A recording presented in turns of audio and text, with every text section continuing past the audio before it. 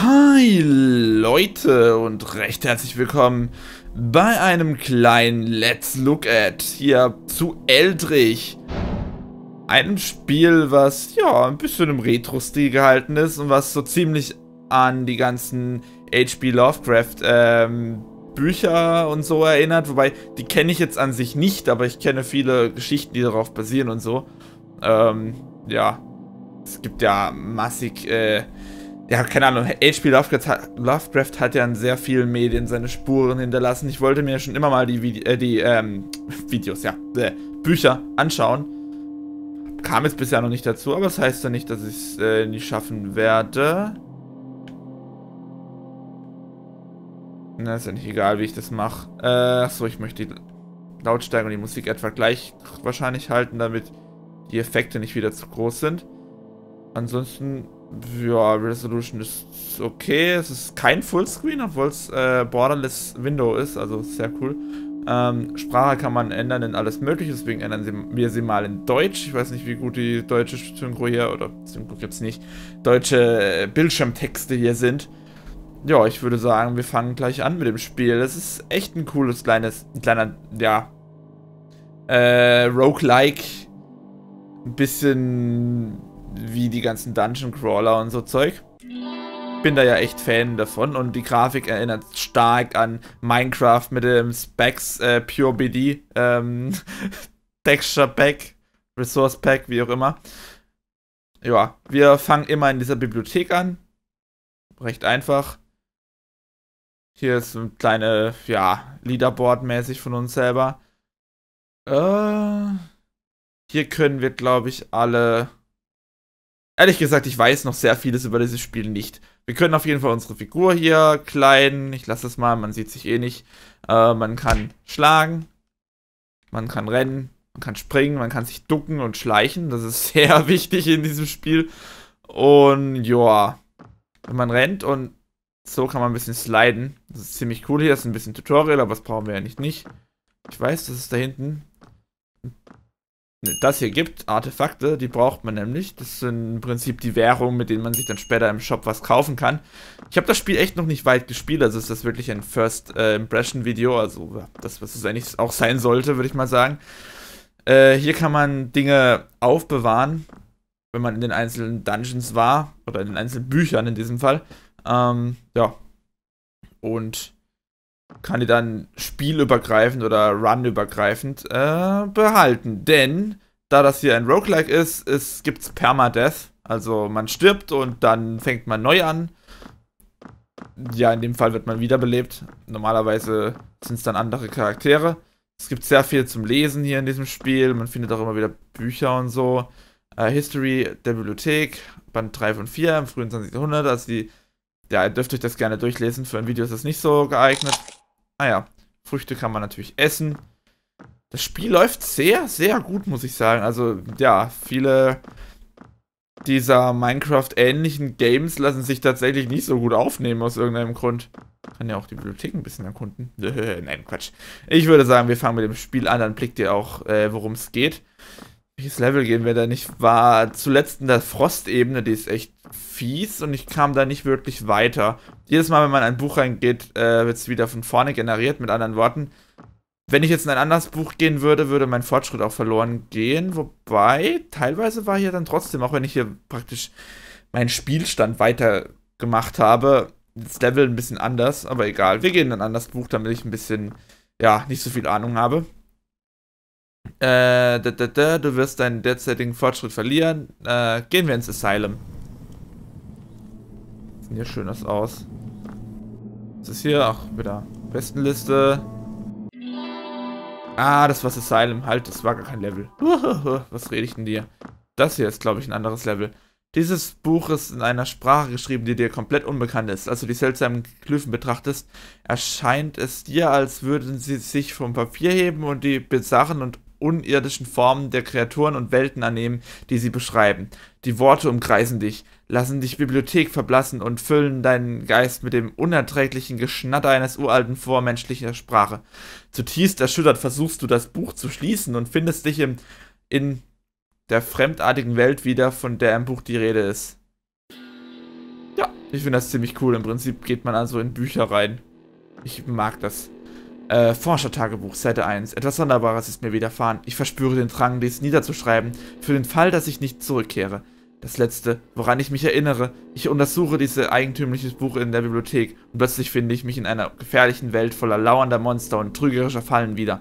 Die Bücher werde ich vorlesen, weil die gehören zur Story und sind nicht extra Werk. Oder was heißt Story? Von der Story des Buches, deswegen. Sollte meine Untersuchung sich als äh, richtig erweisen, so bin ich im verlorenen Tempel des uralten Gottes Dagon. Ein mächtiges Relikt soll sich in, dieser, in diesen Tiefen befinden. Vielleicht ist es der Schlüssel zu meiner Flucht. Oh, Kompass, ein einfacher magnetischer Kom Kompass. Wenn du ihn mit dir herumträgst, werden wichtige Orte auf deiner Minimap markiert. Der Kompass weist dir außerdem den Weg zum Levelausgang. Das ist cool. Es hat ein bisschen was von Binding of Isaac wie man vielleicht auch sieht, nur halt in 3D und es hat eine Menge, glaube ich, Lore, also eben ganzen HP Lovecraft-Anspielungen und so. Da wünschte ich echt, dass ich die Bücher äh, gelesen hätte. Also wenn jemand von euch die Bücher sich schon mal reingezogen hat, kann er mir gerne sagen, wie für ihn das Spiel wirkt. Bin ich echt gespannt. Und übrigens, ja, man kann alles mögliche aufheben und als Waffe benutzen. Mag ich eigentlich ziemlich. Und man braucht es auch, denn Waffen sind hier sehr rar. Äh, ich habe, weiß nicht, eine Dreiviertelstunde, eine Stunde oder sowas gespielt, bevor ich mal einen Re Revolver gefunden habe. Und der hatte nur drei Schuss, was effektiv keinen einzigen Gegner getötet hat. Okay. Dup, dup, dup, dup. Da hinten ist also ein Tier. Da ich keinerlei Ahnung habe, was hier feindlich und was nicht ist. Man kann sich um Ecken lehnen und wird dabei nicht erspäht. Kann ich dich besiegen?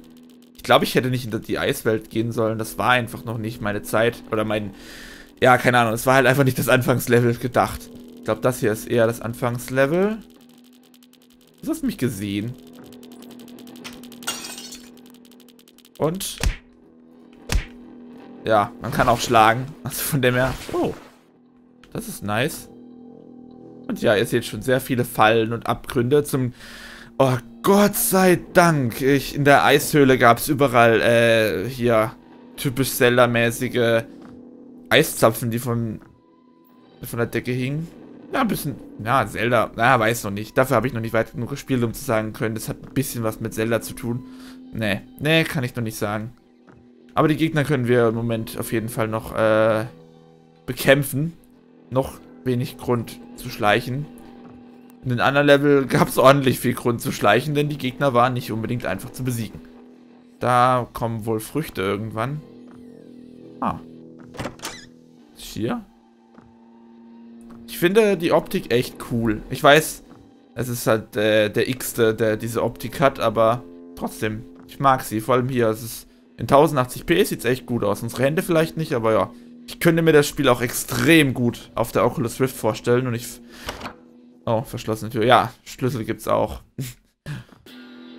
äh, ja, auf der Oculus Rift vorstellen. Das wäre ziemlich cool. Ja. Ich wollte ja mal wieder ein Let's Look at machen und das Spiel bietet sich hier ziemlich an.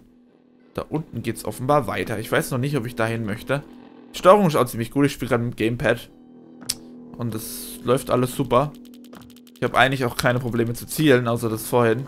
Weil ich eigentlich die Flasche hätte aufsammeln können. Verdammt, ich weiß gar nicht, ob die Flasche zerbricht, aber der Stein auf jeden Fall nicht. Den hätte ich, glaube ich, aufsammeln können. Naja, hi. Zwei Schläge, come on. Also vor den Gegnern brauche ich jetzt wirklich nicht schleichen. Aber wie gesagt, da gibt es andere Level, da gibt es ganz andere Level. Außerdem, immer wenn ein Gegner stirbt, wird er irgendwo auf dieser Ebene wiederbelebt. Oder mit anderen Worten. Es bietet sich durchaus, durchaus, durchaus an, einen starken Gegner nicht zu töten, denn wenn man weiß, wo der starke Gegner ist, hat man schon mal einen riesen Vorteil im Gegensatz zu, wenn man es nicht weiß und man einfach überrascht wird.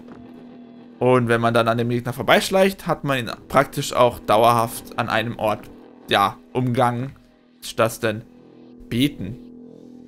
Äh, Statuen. Diese riesige Statuen Idole stellen furchtbare Kreaturen dar, wie sie nie zuvor auf der Erde gesehen wurden.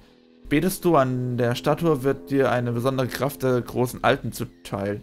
Schleier. Drücke L, um dich in einen Schleier aus Dunkelheit zu hüllen. Während du es so verhüllt bist, können Feinde äh, dich nicht sehen. Nach kurzer Zeit lässt die Wirkung nach. Sei vorsichtig, Feinde können dich noch immer hören, während du im Schleicher, Schleier...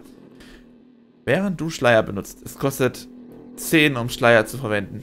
Uiui, 10. Sollte ich wirklich aufpassen. Ja, jetzt haben wir unseren Zauber und unsere Waffe. Jetzt kann alles kommen. Naja, wir haben nur 7 Schuss. Das reicht wahrscheinlich für eine Kakerlake. Das würde aber für keinen anderen Gegner, den ich bisher in diesem Spiel gesehen habe, reichen. Dip, dip, dip, dip. Ab. Wir gehen einfach mal hier ein bisschen entlang. Können natürlich auch Kreaturen entgegenkommen, denn die sind ja eh klein. Schleier scheint mir echt was zu sein, wenn mir eine riesige Kreatur auflauert oder sowas. Wieso ist da immer noch was? War ich da nicht? Offenbar war ich hier noch nicht. Cool, glaube ich. Ein Schlüssel. Yay! Ja, ich weiß, ich kann mit Schlüssel Türen öffnen. Danke, Spiel. So, ich möchte aber auf jeden Fall die Pistole erstmal behalten. Man ist hier auch relativ schnell tot, wie man an drei Leben sieht. Ah ja. Und ich hätte das Fleisch vorher nicht essen sollen, denn ja, man isst sofort. Man kann sich keine Heilgegenstände erst, oder zumindest habe ich noch keine gefunden, die man sich mitnehmen kann. Äh, ist das ein Shop? Tatsache. Cool. Was ist hier die Währung? Laufstiefel. Einkaufen. In jedem Laden steht eine Auswahl wertvoller Gegenstände zu verkaufen. Wenn du dir etwas nicht leisten kannst, kannst du versuchen, den Gegenstand zu stehlen. Das wird doch jeden... Oh, nein. Schneller laufen. 30. Nein, ich will es nicht stehlen. Schlosserausrüstung. Erlaubt dir für wenige Geld verschlossene... Für wenig Geld verschlossene Türen zu öffnen. Hm, was? Und zu verschließen? Das ist cool. Äh, vers... Oh Gott, nee. Versteckt Waffenschaden. Verstärkt Waffen. Oh Gott, ich kann die Schrift nicht richtig lesen, sorry. Äh, der Font ist nicht so gut, finde ich, zum Vorlesen. Vor allem weiß auf äh, leicht beige. Hm, nee, nicht so eine gute Idee. Schwarze Schrift wäre ja super. Äh, können Gelände zerstören. Wow, what? Das ist cool. Ein Nitroglycerin getränkte Stäbe, explosiv und höchst instabil. Ha. Schlüssel, ich kann mir Schlüssel kaufen. Eventuell keine schlechte Idee, aber ich weiß eh nicht, wie weit ich komme. Ob ich den besiegen kann? Ich glaube nicht. Ich glaube, ich sollte es nicht probieren. Äh, okay. Würde gern nochmal zurück zur verschlossenen Tür. Ich habe keinerlei Ahnung, wo die war. Aber wir haben Dynamit. Ich möchte aber auf keinen Fall meine Pistole dafür weglegen. Ach, ich kenne immer nur ein Dynamit. Hm, okay. Ah, drei Ammo. Cool. 13 Schuss, wow. Cool. Gerade in der, in der Aufnahmesession hier läuft es verdammt gut. Äh, ja, das ist doch gut. Aber ich denke mal... Ja, ich dachte es mir. Hat es kurz geruckelt. Ich denke mal, der Revolver lockt halt andere Gegner an. Das heißt, so schlau ist es unter Umständen gar nicht, den zu benutzen. Könnte ich mir gut vorstellen. Das war der Shop. Das wird nicht... Doch, doch, das wird tatsächlich auf der Map angezeigt. Okay, ich sag nichts mehr. Wo war denn die verschlossene Tür? Dürfte ich da nochmal hin? Ich will da rein. Ich habe irgendwie das Gefühl, dass es mir vielleicht helfen könnte. So leicht. Eventuell. Da war das Beten. Ich glaube, da war die Tür. Schauen wir mal nach. Aber wie gesagt, ich liebe Roguelike-Spiele. Ah. Ne, das war der Anfang. Ha! Kein Haar. Das war doof. Okay, also hier kommen wir nicht weiter, gell? Da war was. Wobei, wer sagt, dass wir hier nicht weiterkommen? Man kann sich auch an Kanten hochziehen. Finde ich ziemlich cool. Muss ja nicht alles immer künstlich begrenzt sein, wenn man das tatsächlich auch in, der, in echt tun könnte. Ich meine, gut, um eine Kante hochzuziehen, müsste man schon ordentlich stark sein. Ich glaube, die wenigsten Leute würden das einfach so schaffen. ja, wie gesagt, das Zielen geht echt gut. Und das, ich, ich spüre hier kein Auto-Aim. Aber da das eh so ein bisschen Dungeon Crawler mäßig ist, oder keine Ahnung, ein bisschen Doom-mäßig fast schon, äh, ist das Spiel, glaube ich, relativ verzeihend mit Schüssen. Also man kann auch mal ein bisschen daneben schießen, ohne dass jetzt gleich die Welt untergeht. Wobei, in diesem Spiel wäre ich mir da nicht so sicher, aber das wäre eher thematisch und nicht egal. Ihr wisst, was ich meine. So. Bam, bam, bam, bam. Ich habe keine Ahnung, wo ich entlang gehen sollte, ehrlich gesagt. Aber wir waren noch nicht hier, offenbar. Ich wollte eigentlich zu, zur Tür, aber gut, dann halt nicht. Äh. Okay. What is this place? Das frage ich mich echt. Ein Artefakt. Cool. Artefakte sind unsere magische Power. Also schon heftig. Also, Zauber kann man nicht sehr häufig einsetzen. Also so viel ist schon mal sicher. Dip, dip, dip, dip. Das beides mal auf. Ein Decker ist eigentlich auch ganz gut. Ich benutze, äh, ich behalte nur das Dynamit, weil ich irgendwelche, äh, ja, Zelda-like bröcklige Wände erkennen möchte. Wieso will ich da nicht hin? Ich möchte eigentlich zu der Leiter und hier mal weiterkommen, so langsam. Dim, dim, dim, nicht zu der Leiter, eigentlich möchte ich da runter. Excuse me. Oh, da war, da ist eine Tür. Okay. Ist aus. Ein Haufen Artefakte. Drei Munition, nochmal ein Artefakt. Nice. Können wir uns eigentlich beinahe schon was im Shop kaufen und FPS gehen gerade runter. Das will mir nicht gefallen. Es ist plötzlich nur noch 30. Von man 60. Nur so als Vergleich. Hm, hm, hm, hm. Ach, hier war ich offenbar noch gar nicht arg. Okay. Alright, Game. Ah ja, die kommen hier übrigens nicht hoch. Man kann sich ducken, um äh, drunter gelegene, äh, ja, Feinde auszuschalten. Eigentlich ist es jetzt zum Nachteil, dass ich äh, das Dynamit aufgenommen habe, weil durch diesen Trick kann man hier sehr viele Feinde umgehen. Und ja, ich begebe mich gerade nah an die, ähm... Oh, cool. An die, ihr wisst schon, Stacheln. Okay. Ah. Lass mich mal kurz alles in die Bank legen. Damit ich jetzt nicht komplett alles verliere. Ah. Also im Belohnungsraum oder sowas. Bei. Ist auch du. Egal doch. Für. Was rede ich da? Ich bin hier am Aufnehmen. Wieso soll ich an den nächsten Run denken? Nur das Hier und Jetzt ist wichtige. Swag YOLO und so Zeug. Blah. Egal. So. Gehen wir mal hier hoch. Was nochmal eine Statue. Hi. Das war daneben. Und ja, das Game ist er hat eine sehr gute Atmosphäre. Das, das, kann man so sagen. Also wenn ihr so einen leichten Schauer mögt, ohne jetzt Jumpscares oder sowas drin zu haben, sondern einfach eine gute Atmosphäre und dadurch Grusel, dann ist das Spiel auch was für euch. Bin ich jetzt wieder am Anfang? Oder ist das jemand anders? Äh, ach so. Das habe ich immer noch. Okay. Never mind. Hm. Hm, hm, hm. Bin ich jetzt einfach wieder oben? glaube ja. Ich glaube, ich bin da gerade runtergegangen und dann wieder hochgeklettert. Äh, nein. Ich möchte da aber nicht runterfallen. Das ist ein Unterschied. Runterklettern und runterfallen. Ein Unterschied, den ich schon in mehreren Games und der jeder von uns wahrscheinlich schon schmerzhaft äh, merken durfte. Hm. So viele Türen. Okay kann mir auch gut vorstellen, dass es Gegner gibt, die durch Türen laufen können und Gegner, die nicht genügend Intelligenz dafür besitzen oder sowas. Und mit anderen Worten, dann eben der, die Fähigkeit, Türen zu verschließen, echt nützlich ist. Weil dann Gegner einfach nicht hinkommen. Das hier ist ein bisschen... Ich kann nicht durch Türen durchschießen, aber ich kann hier rüber. So, wie sieht's aus? Es geht ja wohl. Irgendwie ist das ein bisschen Okay. Von mir aus. Gerne. Ich meine, wenn man in den Raum auch so kommt, von mir aus, ich wirklich nichts dagegen. Hm. Uns wurde sogar daran gedacht, dass man hier wieder rauskommt.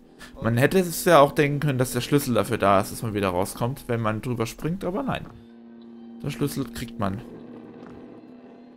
Das ist cool. Echt so leichte Rätsel, obwohl zufallsgeneriert. Wobei ich weiß nicht, wie stark zufallsgeneriert. Das wird sich erst noch rausstellen. Hi. Hm. Hm, hm, hm. Interesting. Ein Viereckraum. Also vier Räume aneinander in einem Viereck. Ihr wisst schon, was ich meine. Die Erkennung, wenn man eine Tür aufmacht, ist noch nicht ganz perfekt. Und habe ich da gerade... Ja, also nee, da war ich gerade. Orientierungssinn. Please, ich habe sogar eine Minimap. Was ist das? Ein neuer Gott. Aber hallo. Materialisieren. Drücke L, um eine mystische Barriere zu erschaffen, wenn diese Barriere um Gegner den Weg zu versperren oder um an schwer erreichbare Stellen zu gelangen. Sei vorsichtig, du kannst dir auch so selbst einmauern. Das kostet 1. 1? Äh. Äh. Ah, wir können einen Block erstellen. Yeah, Minecraft. Herzlich willkommen oder Hallöchen, Popöchen, zu meinem Minecraft Let's Play. Nein. nein, nein, nein, nein, nein, nein. Nein, nein, nein, nein, nein, nein, nein. So. Äh. Wie gesagt, nichts, dass ich irgendwas gegen Minecraft hätte. Im Gegenteil. Bin auch großer Fan von Minecraft, aber ich würde außer Hexit oder irgendeine Mod oder, oder was Besonderes, würde ich jetzt persönlich keinen Minecraft-LP machen, denn davon gibt es einfach schon genügend sehr gute Leute, die das machen, vor denen ich großen Respekt habe und an die ich sehr wahrscheinlich äh, in Sachen Minecraft jetzt äh, zu diesem Zeitpunkt nicht mehr rankommen würde. Hm. Ich habe übrigens keine Ahnung, wo ich hingehe, deswegen diese Diskussion. Ich kann da offenbar nicht durch. Da oben geht's. Ah, cool. War ich auch noch gar nicht. Super. Wollte mal ein extra langes Video. Es läuft auch gerade so gut wie in den letzten Runs noch nicht. Aber ich habe jetzt auch noch nicht so viele Spielstunden in diesem Spiel. Also von dem her wundert mich das auch nicht. Ich bin noch in der Lernphase und da ist jeder Run besser als der vorherige. Bam, bam, bam. Und das Spiel zeigt das sehr gut. Und macht das auch sehr gut. Und solche Spiele funktionieren einfach zufallsgeneriert recht gut, finde ich. Dip, dip, dip, dip. Okay, so komme ich also hier hin. Äh. Interesting. Das mal mit. Nochmal drei Schuss. Ich verliere keinen Schuss. Vorhin sage ich noch, dass alles hier ein bisschen knapp ist. Damit. Kann ich das machen? Äh. Ich glaube. Äh, äh. Verdammt. Verdammt. Okay, nein. Ach so, ich hätte mich ducken können. Ich kann mich jetzt immer noch ducken. Und dann hier entlang und dann... Äh. Ah, so funktioniert das also auch. Das heißt, ich kann das machen. Ha. Ausgetrickst Spiel. Nein, nicht wirklich. Das hier... Hm. Lasst mich erstmal hier rumgehen und hier alles erforschen. Ähm. Ich sagte hier alles erforschen. So ist nix. Jo mai. Dann kann ich auch nichts machen. Dann nochmal den Trick anwenden. Hopp. Hopp. Was heißt Trick anwenden? Das ist ja kein Trick. Egal. Hopp. Äh. Nehme ich doch gerne. Das sind zwei Blöcke. Also das ist mal... Okay, ich habe die andere Fähigkeit nie benutzen können. Aber das ist doch mal sehr viel nützlicher als ein 10-Mana-Spell, wo man hm, nur so selten Mana bekommt. logisch, das ist logisch. Okay. Wir müssen uns irgendwie jetzt mal an, an, an, den Raum, an das Raumlayout gewöhnen und ein bisschen weitergehen. Weil wir auch einfach hier runtergehen können. Das ist ja auch neu. Fallschaden ist sehr gut, finde ich, bisher gemacht. Also, hab noch keinen bekommen. Deswegen ist er gut. So definiere ich das jetzt mal. Drüb, drüb. Dürft natürlich gerne in die Kommentare schreiben, ob ihr mehr von dem Game sehen wollt. Wie gesagt, ich warte immer darauf, dass in irgendeinem äh, Let's Look at mal die Leute schreiben. Oder ihr schreibt, besser gesagt er. Dass ihr mehr sehen wollt. Dann darf ich das Spiel nämlich noch ein bisschen mehr für euch zocken. Da ist offenbar der Exit schon. Was ist eine Leiche? Ja, die Monster... Unterschiedliche Gattungen von Monstern töten sich gegenseitig. Das habe ich auch schon bemerkt. Der nächste Floor. Interesting. Natürlich gehen wir runter, hallo? Hier ist ein bisschen heller. Aber ich befürchte auch, dass es hier nicht mehr so leicht wird. Ich hätte auch gerne eine Bank zum Bunkern meines Geldes in Reichweite, wobei ich das nicht einfach so machen werde. Wo so rein theoretisch. Dip. Hm. Hi. Aua. Seht ihr, das war schon ein Health verloren. Verdammt. Einmal falsch gezielt. Sicherlich mit Maus kann man besser zielen. Das ist immer so. Keine Frage. Aber Gamepad. Ich bin Gamepad-Fan. Sagen wir es einfach mal so. Da. Verschlossen. Nein, what am I going to do? I don't know. Vielleicht zu einem unbekannten Gott beten. Hi, Auge. Ja. Es geht einfach. Okay. Äh, ich will keinen Schleier. Nein. Ich hätte darauf achten müssen. Okay, man muss also darauf achten. Ich dachte, es gibt einem irgendwie eine Warning oder so. Ich habe noch bisher noch nie, nachdem ich eine neue Fähigkeit gehabt habe, nochmal eine bekommen oder so irgendwie. Gut. Das ist eh schon kaputt, aber ich schieße trotzdem nochmal drauf. Ich bin paranoid. Das sieht mir auch eher kaputt aus, aber ich schieße auch nochmal drauf. Ich habe ja genug Munition. Haha. Ich werde sowas in den Arsch beißen, aber egal. Ich weiß, ich weiß, für so ein Game wäre Facecam eigentlich auch nicht schlecht, aber ich habe ja mal gesagt, ich mag keine Facecams und das stimmt auch. Ich schaue sie mir gern an, aber weiß nicht. Möchte mein Gesicht euch jetzt nicht so ins Video drücken. Ab. Oh, cool. Es hätte mich ja auch umbringen können, aber ich habe mal was riskiert und wurde belohnt. Yay. Hi, Decker. Okay. Will kein Decker. Dynamit bringt mir bisher recht wenig. Außer, und das werde ich jetzt gleich mal ausprobieren, einfach nur vor the lulz. Ich kann Wände sprengen. Achso, ich muss ja hier nach oben. Stimmt, ich bin ja hier schon ganz unten offenbar. Ab. Und das ist immer noch dieselbe Ebene? Okay. Interesting, glaube ich. So. Hi. Aber es geht. Ja, ich bin zu faul, um da runter zu gehen. Deal with it. Ähm. Okay. Hier. War ja noch nicht. Aber man, man, man erkennt, glaube ich, schon so langsam ein paar wiederkehrende Strukturen. Bei ihr das sicherlich besser seht als ich, der das Spiel gerade spielt. Hm. Lasst mich mal was probieren. Ich weiß nicht, wie weit... Äh. Tatsache. Das ist ja cool. Kann man jetzt sich tatsächlich durch den Boden sprengen. Hätte ich jetzt nicht gedacht, ehrlich gesagt. Überall frei sprengen und so. Werde ich sterben? Nein, werde ich nicht. Ah, heben. Drücke L, um dich, dich selbst hochzuschleudern. Du kannst heben auch in der Luft benutzen, sodass du noch höher Stellen erreichst cool, glaube ich. Oh. Alles nützlicher als den ersten Zauber, den wir bekommen haben. Ist ein Alien?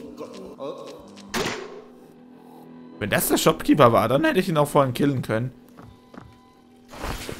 Okay, das Spiel ist, glaube ich, noch... Wenn man ihm gerade was vorwerfen könnte, dann ist es ein bisschen zu leicht.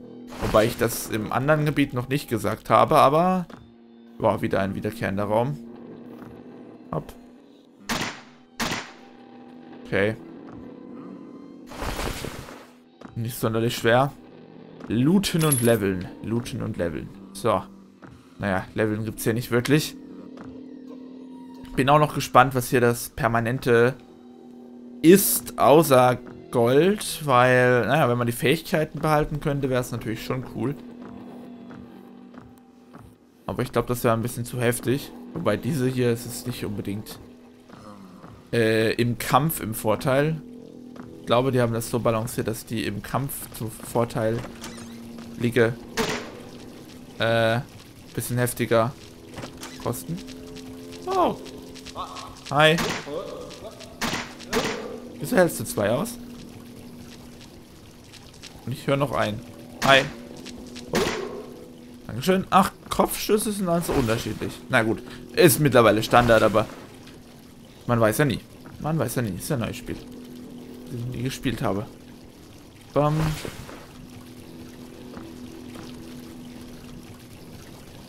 So, das muss dann leider auch äh, reichen als Review, da meine Festplatte gerade äh, ja, voll gelaufen ist. Ähm, ja, wenn es euch gefallen hat, dann liken, abonnieren und so. Und dann werden wir uns im nächsten Video wiedersehen, wenn ihr genügend äh, Interesse zeigt. Ja, schreibt's mir einfach. Oh, ciao, Leute.